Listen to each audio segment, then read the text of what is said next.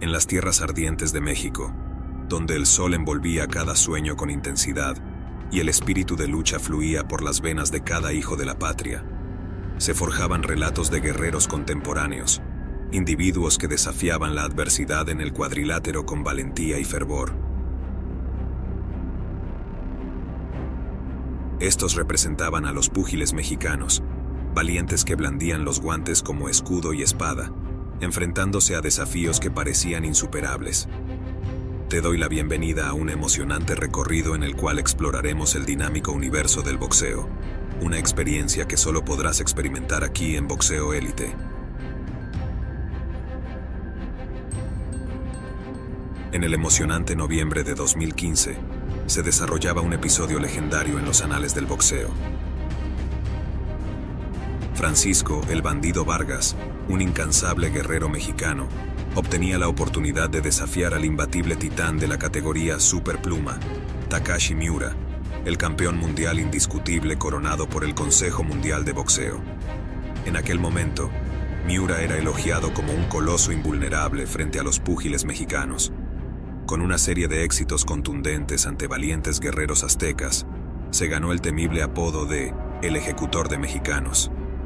Este título no era solo fanfarronería, sino que se sustentaba en su racha avasallante, derrotando a cuatro guerreros mexicanos de manera consecutiva, tres de ellos vencidos por el poder de sus puños en brutales knockouts. El japonés llevaba este récord con orgullo, considerándolo un honor. Sin embargo, el bandido Vargas buscaba alterar esta narrativa impetuosa. Deseaba arrebatarle al japonés ese apodo ominoso. Anhelaba forjar su propia leyenda, una donde la voluntad y la destreza eliminaran la sombra de la derrota, y sería él quien pusiera fin al reinado apodado de Miura, cambiando el curso de la historia con sus puños ardientes.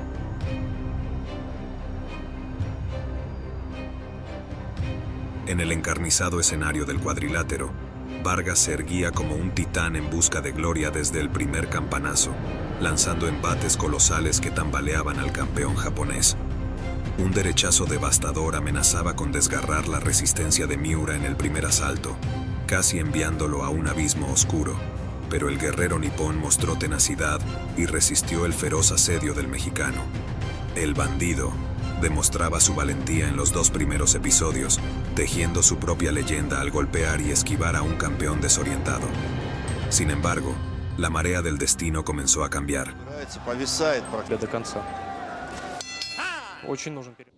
Miura, el coloso del lejano oriente, empezó a imponer su presencia en el encordado, haciendo sentir su poder. En el cuarto asalto, un zurdazo abrumador de Miura desfiguró el rostro del mexicano, derribándolo al abismo del lienzo. La derrota parecía inminente para el bandido Vargas, pero encontró la fuerza para resistir y sobrevivir hasta la campana, en una lucha por su existencia en ese cuadrilátero de tormento. A partir del quinto episodio, el ring se impregnó con los tonos del dominio del sol naciente. Miura, como un maestro del arte marcial, conquistó la arena con su destreza magistral y empezó a martirizar la región vulnerable de El Bandido, con golpes contundentes que sacudían cada fibra del guerrero azteca. Vargas, aunque mostraba valentía, se veía sometido a una tormenta de golpes imparables, luchando por responder mientras la marea del enfrentamiento cambiaba de dirección. Al llegar al séptimo asalto, el ojo derecho de Vargas estaba desgarrado y el inexorable reloj de la fatalidad avanzaba hacia su destino predeterminado. Parecía que la batalla se inclinaba irremediablemente a favor de Miura, un titán inquebrantable que mantenía su reputación como el ejecutor de mexicanos.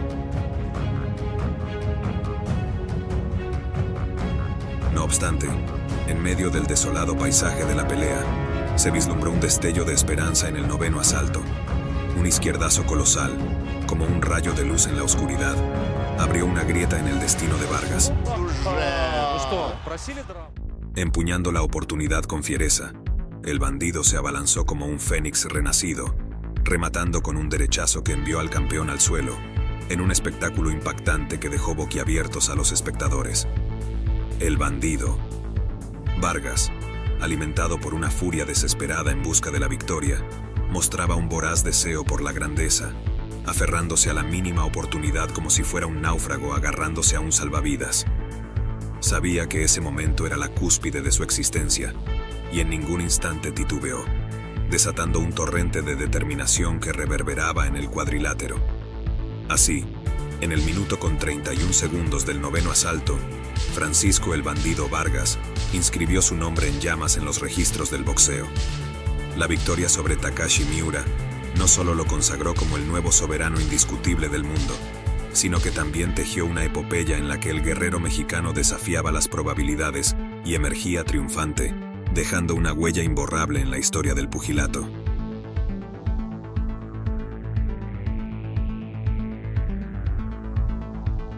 En mayo de 1983, en un universo donde los corazones latían al compás de la pasión pugilística, se gestó un enfrentamiento monumental que sacudiría los fundamentos del boxeo. Un joven guerrero puertorriqueño, Edwin Rosario, apenas con 20 años de edad, desafió al destino, arriesgando su invicto ante la feroz determinación del peleador mexicano José Luis Ramírez por el codiciado campeonato mundial vacante de peso ligero. Las estrellas se encontraron en San Juan, Puerto Rico. La intensidad de la confrontación hizo temblar el suelo y acelerar los latidos, en un combate feroz donde cada golpe resonaba como un estruendo.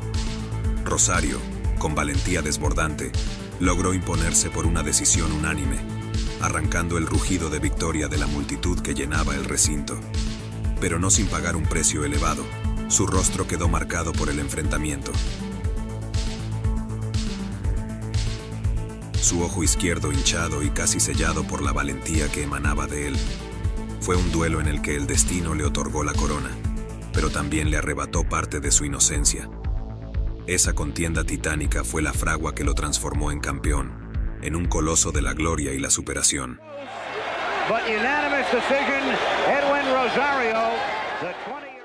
Sin embargo, en las sombras del éxito acechaba la figura resiliente del mexicano, quien juró venganza, el tiempo inscribió su leyenda en las páginas del destino, y el 3 de noviembre de 1984, el destino convocó a una nueva gesta. En el imponente estadio Hiram Bithorn, el estruendo de la multitud resonaba como un himno de batalla.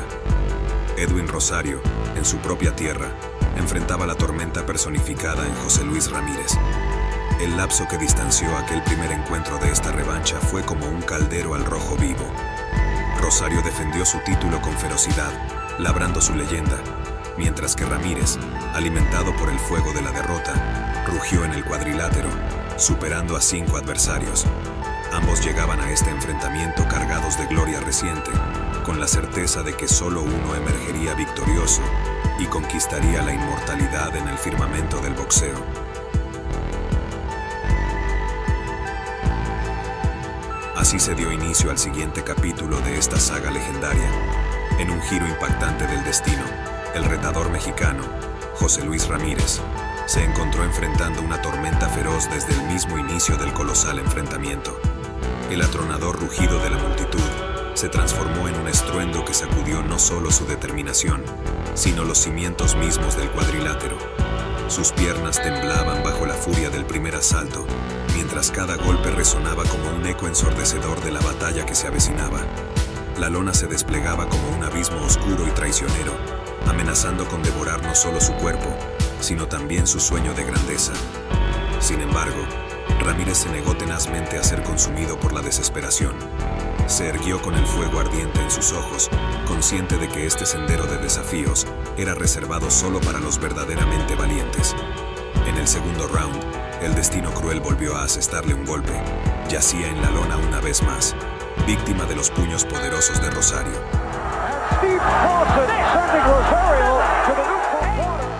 Aunque su cuerpo experimentaba una tortura intensa, su espíritu se revelaba indomable. El médico, testigo de la voluntad ardiente en él, examinó las huellas de su valor en la esquina del ring. Con cada asalto, el abismo parecía ensancharse, la desventaja en las tarjetas más evidente, pero Ramírez nunca titubeó.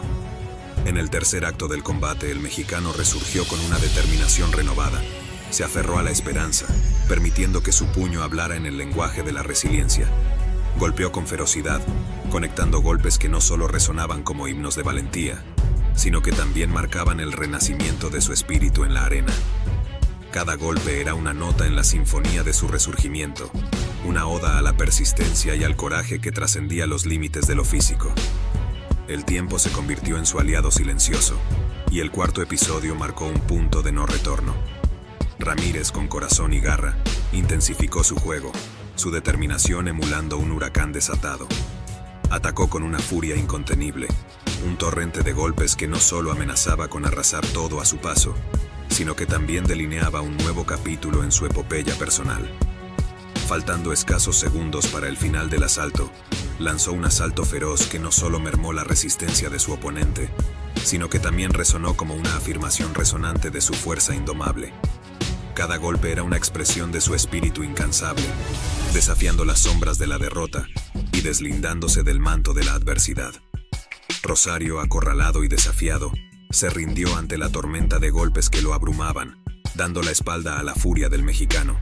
El árbitro, testigo de este duelo titánico, puso fin al combate, sellando la epopeya de Ramírez en las páginas doradas del boxeo.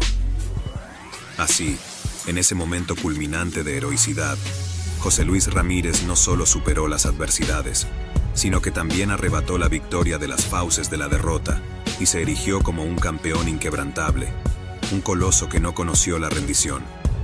La gloria ahora era suya, un premio no solo por su coraje incansable y su valentía eterna, sino también por haber vengado su caída anterior y haber grabado su nombre en la historia como el conquistador de un joven campeón y su primera derrota en el libro de récords profesionales, una gesta que resonará a lo largo de las eras.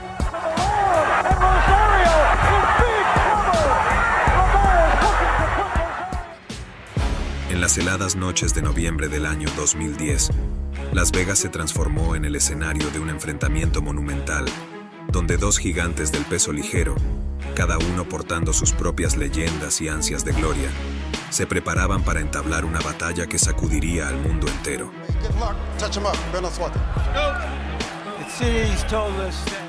En un extremo del cuadrilátero, destacaba la imponente presencia de Juan Manuel Márquez, el campeón que ostentaba el título mundial por la Asociación Mundial de Boxeo, un guerrero consagrado que llevaba el peso de la linealidad en su división, un maestro en la letal danza del pugilismo, un hombre que había inscrito su nombre con fuego en los registros de la historia del boxeo.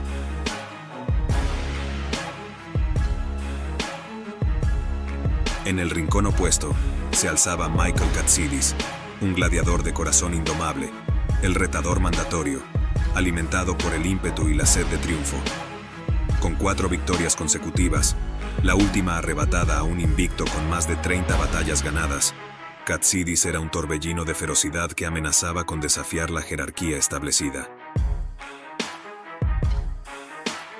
Dos almas endurecidas por el fragor de la contienda, dos estilos divergentes que colisionarían en una danza de puños y coraje. Katsidis, el agresor inclemente, un vórtice de brutalidad que se nutría del combate frontal. Márquez, el estratega del contragolpe, un maestro que encontraba su gloria en enfrentar la tormenta con astucia. Los destinos estaban entrelazados, unidos en un combate épico donde la gloria y la supremacía se sostenían al filo de la cuerda.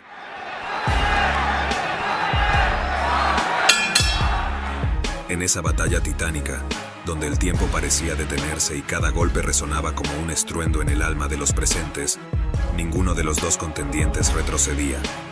La juventud enérgica de Katsidis chocaba con la veteranía y habilidad magistral de Márquez, una sinfonía de impactos y esquivas que aumentaban la tensión en el ambiente. Aunque todos anticipaban una victoria clara para el guerrero mexicano, lo que presenciaron superó cualquier expectativa. El enfrentamiento se transformó en un banquete de resistencia y valentía, donde los golpes parecían surgir de las profundidades del mismísimo inframundo. Los guantes chocaban con una fuerza descomunal. Cada impacto resonaba como el eco de un destino incierto. Era una danza desenfrenada, un enfrentamiento de titanes que se negaban a rendirse. En ese coloso de la lucha, los corazones latían al unísono con el estruendo de la batalla. una sinfonía de pasión y tenacidad, donde los cuerpos maltrechos persistían, enalteciendo a la humanidad con su sacrificio. Y al final, cuando las últimas gotas de sudor y sangre se habían derramado en el cuadrilátero, solo quedaba el eco de una hazaña legendaria, un capítulo inolvidable en la epopeya del boxeo.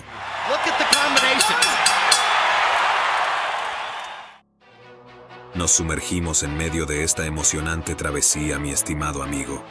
Sin embargo, antes de proseguir con esta narrativa que promete ser épica, me permito solicitarte un favor especial. Si pudieras suscribirte al canal, dejar un me gusta o un comentario, estarías realizando una valiosa contribución a boxeo de élite. Las luces del Coliseo destellaban en la semioscuridad, alistándose para presenciar un combate que auguraba destellos de heroicidad y trascendencia. El eco de la campana marcó el comienzo de la contienda, y Márquez se abalanzó con furia desatada hacia Katsidis, sus puños como cometas en una órbita de gloria. Cada gancho al cuerpo resonaba como el tañido de un guerrero sediento de victoria, y el australiano se veía arrastrado por el huracán mexicano. En el segundo acto de esta apasionante tragedia pugilística, los contendientes se enredaron en una danza frenética en la corta distancia. El guerrero azteca tejía ganchos precisos al hígado de su oponente, y luego, en un éxtasis de violencia controlada, castigaba la cabeza del australiano, tiñendo su semblante de carmesí. En ese segundo round, Márquez se erguía como el señor absoluto del combate.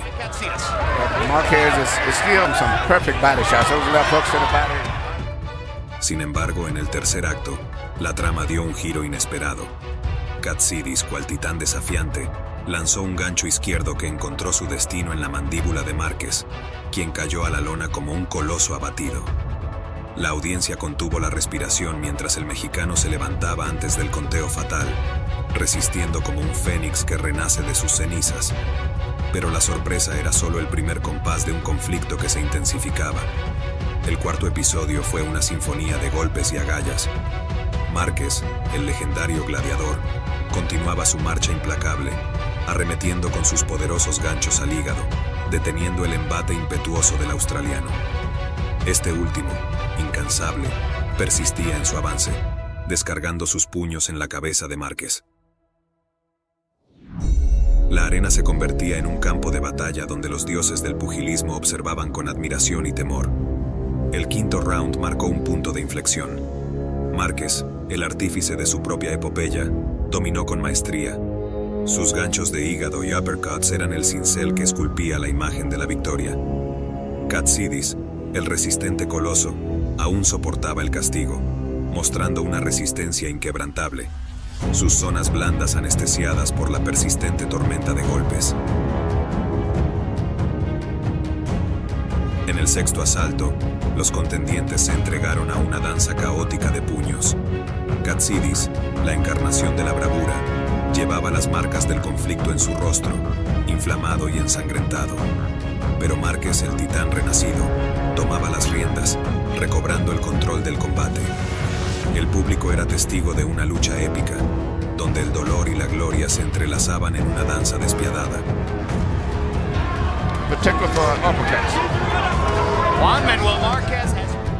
El séptimo round fue un asalto de coraje y determinación.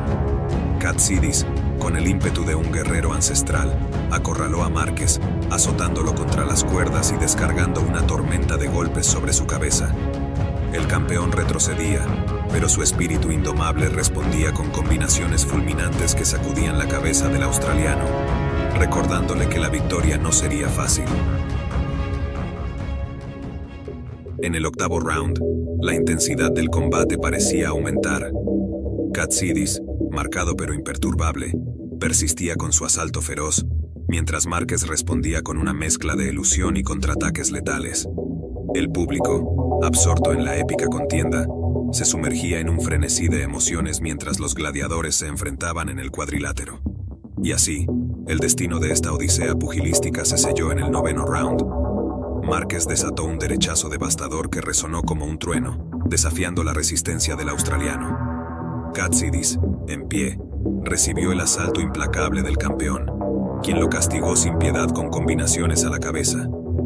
El árbitro, testigo de la gesta, intervino después de un castigo sin respuesta, y el Coliseo rugió en un coro de admiración y asombro. Katsidis, con la ceja izquierda sangrante, se inclinó ante la grandeza de Márquez, quien retenía sus coronas mundiales en un epílogo de gloria y sacrificio.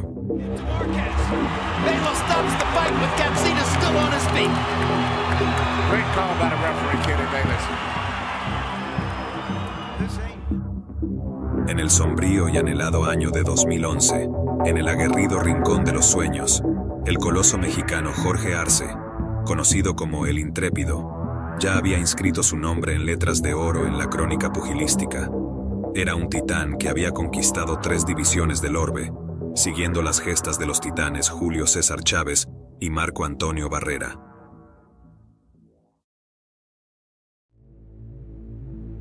Pero el fervor de su alma inquieta le demandaba más, le instaba a desafiar los confines de lo épico. Un torbellino de osadía y determinación lo impulsó a elevarse, a desafiar la báscula y las predicciones. El valiente intrépido decidió desafiar las leyes de la física y la lógica, enfrentándose a las sombras inquebrantables de una cuarta división. Pero no era un camino para los débiles de corazón, no era un sendero trillado ni cómodo. Él no persiguió campeonatos vacíos, ni buscó lidiar con oponentes menores. No, el destino que había escogido era un campo de batalla en el que se mediría contra un titán imbatible, un coloso con puños de acero y el aura del invencible.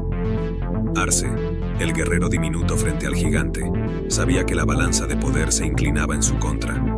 La envergadura y la fuerza de su adversario imponían una sombra amenazante sobre su figura menuda. Sin embargo, la chispa en su mirada, la misma que avivó los corazones de sus compatriotas, era una llama que no se extinguiría ante el viento del miedo.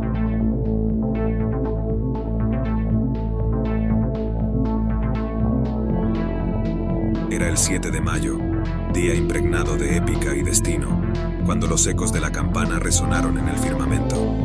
La arena se convirtió en un coliseo de almas ardientes, testigos de la gesta que estaba por desplegarse. Era la hora de los titanes, el momento en que la voluntad se erigiría como baluarte ante la opresión de la desventaja. Y allí, en medio del ring, en un cuadrilátero que se volvía la epopeya misma, comenzó la gesta.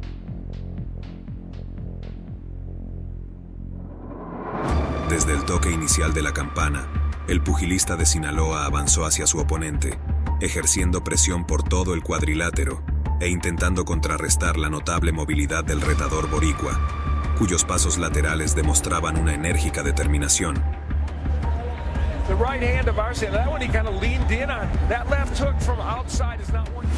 En el segundo asalto, Arce encontró momentos favorables al acorralar a Vázquez Jr. contra las cuerdas y lanzarle combinaciones a la cabeza y ganchos al cuerpo, a lo que el campeón respondió con golpes en distancias cortas.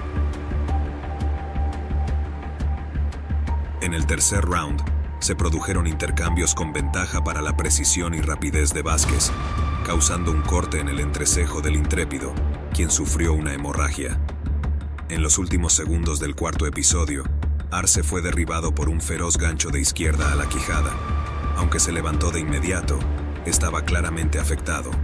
El árbitro aplicó la cuenta de protección y con el sonido de la campana y el minuto de descanso, Arce se fue recuperando gradualmente, intentando sobrevivir con piernas valientes y visibilidad reducida. El boxeador de Sinaloa continuó sangrando por el entrecejo y tenía poca visibilidad en el ojo izquierdo, situación que Vázquez aprovechó para impactar su izquierda en el rostro del pugilista sinaloense. A pesar de esto, Arce no cesó en su presión sobre su oponente. La pelea había sido intensa y competitiva, pero parecía insensato prolongarla para el intrépido, quien, además de recibir castigo, presentaba un sangrado significativo. Sin embargo, el enfrentamiento persistió, y en el sexto asalto, el mexicano mantuvo su estilo agresivo en busca del contundente Vázquez, quien resistía los golpes y respondía con combinaciones en intercambios cercanos. En el séptimo asalto, las feroces combinaciones de Wilfredo Vázquez Jr. sacudieron la cabeza del mexicano. A pesar de ello, Arce resistió con firmeza y respondió con determinación.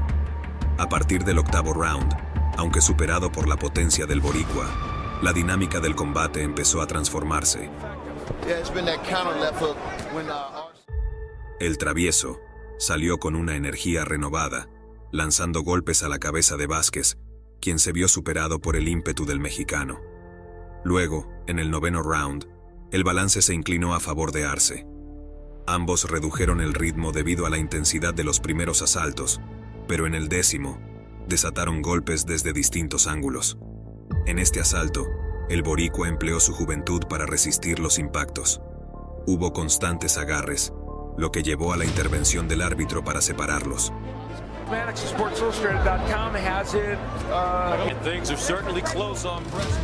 Coronó tetracampeón mundial, siendo el segundo en la historia del boxeo mexicano.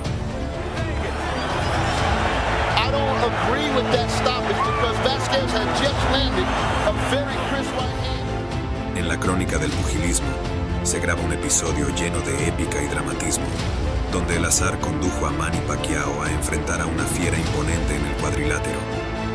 A lo largo de su destacada carrera, el Pac-Man había encarado desafíos, algunas derrotas amargas, pero ninguna tan resonante como lo vivido en esta contienda. Era el 8 de mayo del 2004, un mes que permanecería imborrable en la memoria de fanáticos y boxeadores. Un joven y vibrante Manny Pacquiao con apenas 25 años y aún saboreando su triunfo épico sobre la leyenda mexicana Marco Antonio Barrera, se erguía como un titán en ascenso en el firmamento del boxeo. Sus victorias dejaban boquiabiertos a los seguidores del deporte, pero en ese oscuro rincón de la historia aguardaba un desafío colosal, una tormenta que amenazaba con apagar la luz que iluminaba la vida de Pacquiao.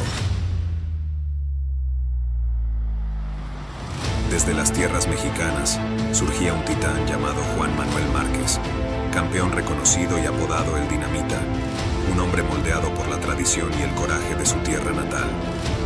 Las chispas de la confrontación inminente capturaron la imaginación del mundo entero.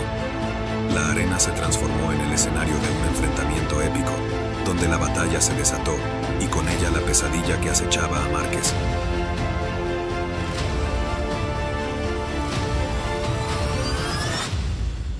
Desde el primer repique del campanazo, el poderoso Manny Pacquiao derribó al campeón mexicano en tres impactantes ocasiones. Era un prodigio que Márquez se levantara cada vez, desafiando la gravedad y su propio destino. El inicio del combate fue un torbellino de sorpresas, y aún más impactante fue la decisión del árbitro de no poner fin al enfrentamiento. Este veredicto, aunque arriesgado, desencadenó una pelea que se revelaría pronto como algo asombroso. Cada derribo implicaba la pérdida de cuatro valiosos puntos en las tarjetas de los jueces, y así, desde el comienzo, Juan Manuel Márquez se encontraba en desventaja, enfrentando una montaña que debía escalar en los 11 rounds restantes.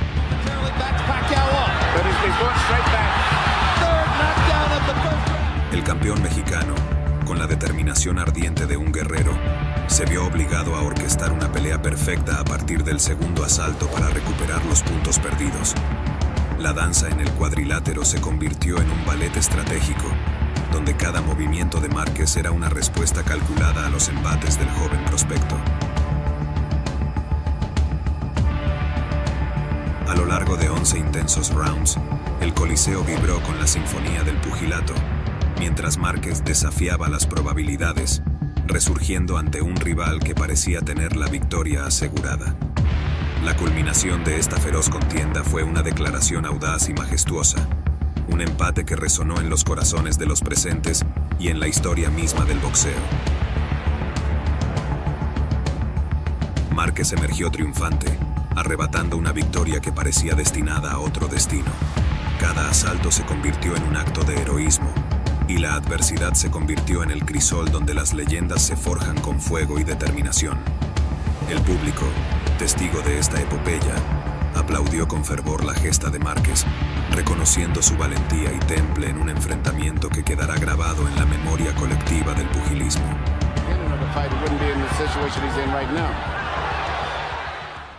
En el calor de la competencia, los luchadores mexicanos surgen como colosos frente a la adversidad, en cada enfrentamiento, cuando la tormenta amenaza con engullirlos y el viento sopla en su contra, los corazones pulsando al ritmo de la batalla se mantienen firmes.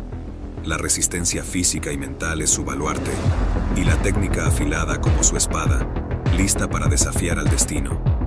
Esta destreza mágica, este regalo en la hora más sombría, es el distintivo de su espíritu indomable, su legado de gloria. Boxeo de élite agradece sinceramente tu compañía en esta emocionante travesía. No te desanimes, ya que este viaje apenas comienza y se avecinan enfrentamientos de magnitudes impresionantes, como los que te presento a continuación.